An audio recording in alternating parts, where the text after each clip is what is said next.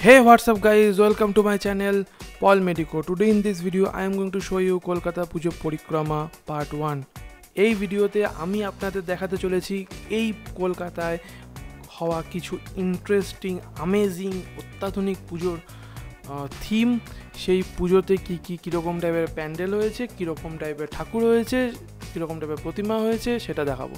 আচ্ছা এই প্রথম আমরা মণ্ডপে ঢুকে গেলাম। প্রথম মণ্ডপটা হচ্ছে বেহালা নতুন দল সংঘের তরফ থেকে গঠন করা হয়েছে। মণ্ডপের থিম হচ্ছে সেফ ড্রাইভ সেভ লাইফ প্রথমে থিমটা আমি বুঝতে পারিনি, সত্যি কথা বলতে। তো সেখানকার সেই মণ্ডপেরই একজন, ওই সংস্থার একজন লোক আমাকে ব্যাপারটা বুঝিয়ে দিলেন যে এই মণ্ডপের থিম হচ্ছে প্রথম মানুষ যদি আইন কানুন না মানে ট্রাফিক আইন না মানে তাহলে তার ধ্বংস অবশ্যম্ভাবী এবং তারপরেই রয়েছে মঙ্গল, অর্থাৎ মার অবস্থান। মণ্ডপটা তৈরি করার জন্য ব্যবহার করা হয়েছে হেডলাইট, হেলমেট আর তার সাথে রয়েছে গাড়ির টায়ার, কিছু সাইন যেগুলো ট্রাফিক আইনের অন্তর্গত, সেরকম কিছু সাইন রয়েছে এর এর ভেতরে। আচ্ছা এরপরে যখন আপনার, যখন আপনারা প্রতিমাটা দেখবেন, দেখতে পাবেন যে প্রতিমার সামনে রয়েছে একটা স্পিডোমিটার টাইপের জিনিস, যেটার ওপরে একটা ত্রিশূল রাখা রয়েছে।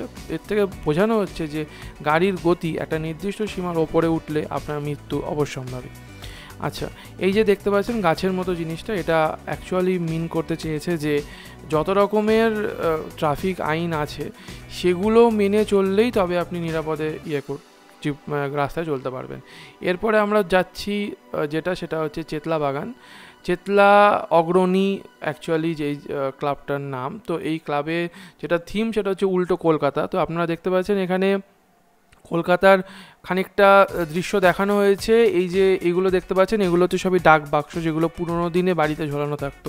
তার সাথে পুরোনো দিন, পুরোনো আমলের অনেকটা টানা রিক্সাকে বানানো হয়েছে। সেই যেগুলো অনেকটা পুরনো কলকাতার আমেজটাকে ফিরিয়ে আনার চেষ্টা করেছে। আচ্ছা মাথার ওপরে এগুলো কী ঝুলছে আমি জানি না, মরার ওপর খাড়া নাকি, সেটাও হতে পারে। আপনারা কি যদি বুঝতে পারেন, তাহলে নিচে, ভিডিওর নিচে কমেন্ট করবেন। আচ্ছা এই যে এবারে দেখুন, আমরা এবার মণ্ডপের ভেতরে ঢুকতে চলেছি।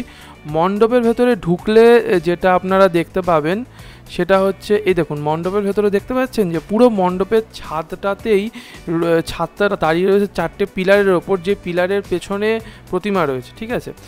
আর এই মণ্ডপের যে ছাদটা রয়েছে, পুরো ছাদে দেখতে পাচ্ছেন যে অনেকগুলো ছোটোখাটো ছোটোখাটো বিল্ডিং মতো বানানো রয়েছে। তো এগুলো অ্যাকচুয়ালি কলকাতাটাকেই উল্টো করে দেখানো হয়েছে, ঠিক? অ্যাকচুয়ালি যদি কলকাতার ম্যাপ খুলে বসেন, দেখতে পাবেন যে খুব ভালো করে যদি ক্লোজলি জুম করে দেখেন ম্যাপে তাহলে দেখতে পাবেন যে অনেকটা যেন এই বানানো ইয়েটার, বানানো যে মণ্ডপে যে ছাদটা বানানো হচ্ছে সেটার মতনই লাগবে। এটা ওই মণ্ডপের কয়েকজনের সাথে কথা বলে সেটা জানা গেছে। আচ্ছা এবারে আপনারা প্রতিমাটা দেখতে পাবেন। প্রতিমাটা সত্যি সুন্দর হয়েছে প্রতিমার বিশেষত্ব যেটা যেটা হয়তো অনেকে খেয়াল করবে না, সেটা হচ্ছে দেখুন, প্রতিমার ওপরে শিব শুয়ে আছে মানে অর্থাৎ দুর্গা, লক্ষ্মী, সরস্বতী, এদের মাথার উপরে যে ছাদ বানানো হয়েছে, তার উপরে শিব শুয়ে আছে। আচ্ছা এরপরে আমরা চললাম যেটা, সেটা হচ্ছে ছেষট্টি পল্লী সঙ্গে। ছেষট্টি পল্লীর পরে আছে বাদামতলা, যেটা পরের ভিডিও অর্থাৎ পার্ট টুতে আসবে। এটা পুরোপুরি বানানো হয়েছে বাঁশ দিয়ে, বেতের চটা দিয়ে বা বাঁশের চটা দিয়ে।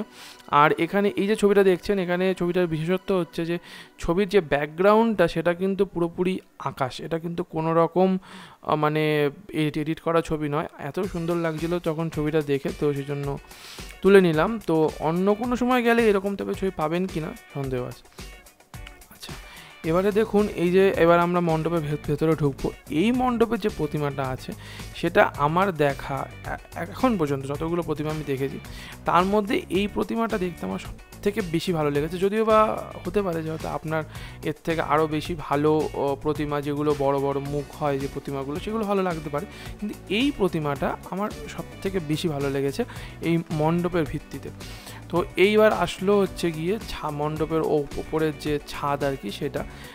তো দেখুন, এই যে মণ্ডপের ছাদ যেটা আপনারা দেখতে পাচ্ছেন, এই ছাদটাতে অনেকগুলো ছোট ছোট ঘটের মতো জিনিস বানানো হয়েছে মণ্ডপটাকে সাজানোর জন্য। মণ্ডপ সাজানোর জন্য এখানে শুধুমাত্র বাঁশ বা বেতের চটা বা বাঁশের চটাই ব্যবহার করা হয়নি, তার সাথে কিছু কাগজ ব্যবহার করা হয়েছে। আচ্ছা তো এই যে মণ্ডপের ভেতরে যেটা দেখতে পাচ্ছেন, এটা হচ্ছে প্রতিমার ছবিটা। এই মণ্ডপের ভেতরে ঢুকলে আপনাকে যেটা সবার প্রথমে যে জিনিসটাকে খেয়াল রাখতে হবে, সেটা হচ্ছে যে কোনোভাবেই বিড়ি, সিগারেট, দেশলাই, লাইটার এসব নিয়ে এই মণ্ডপের মধ্যে পাকামো মারতে যাবেন না। আচ্ছা এই হলো মণ্ডপের দৃশ্য। আচ্ছা এর পরে যেটা বলার কথা সেটা হচ্ছে এই মণ্ডপ থেকে যখন আমরা বেরোই, তখন আমরা জানতে পারি যে বাদামতলা যে আসর সংঘ যে মণ্ডপটা আছে, সেটায় যেতে গেলে আমাদের ঘুরে যেতে হবে। তো আমি আপনাকে, আপনাদের সাজেস্ট করব যে আপনারা আগে বাদামতলা আসর সংঘ দেখে তারপরে ছেষট্টি পল্লী দেখতে আসবেন। তাহলে আপনারা অনেকটা বেনিফিটেড হবেন, হাঁটা কম হবে। আচ্ছা এই ভিডিওটা এখানেই শেষ। এরপরে আসতে চলেছে কলকাতা পুজো পরিক্রমা পার্ট টু যদি আপনারা এই ভিডিওটা ভালো লেগে থাকে, তাহলে চ্যান, তাহলে ভিডিওটিকে লাইক করুন, চ্যানেলটিকে সাবস্ক্রাইব করে নিন। তার সাথে কম, নিচে কমেন্ট করে জানান যে এই ভিডিওর কোন পার্টটা আপনাদের সবথেকে বেশি ভালো লাগল। হ্যাঁ বাই বাই